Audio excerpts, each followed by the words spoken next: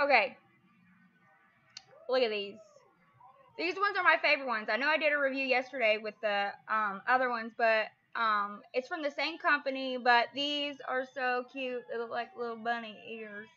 But um, these actually hold it a lot tighter too. They um, because it's a smaller gap, but it still fits any cord that you want to put in there. Um, you can get it on Amazon for $9.97. It comes in a 10 pack. It's the same price as the other one.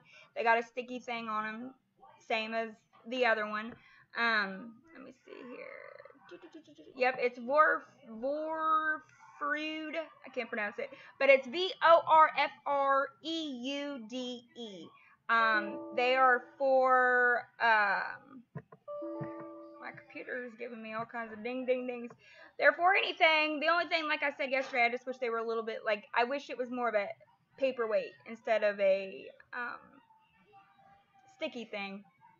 But I still love them. You can stick them anywhere. Um, I got them up in my kids' rooms, holding cords up off the floor and everything. So that way the dogs don't rip it down when they jump on and off and around. I, they're, I love them. They are good. Good, good, good, good, good, good. And they're cute.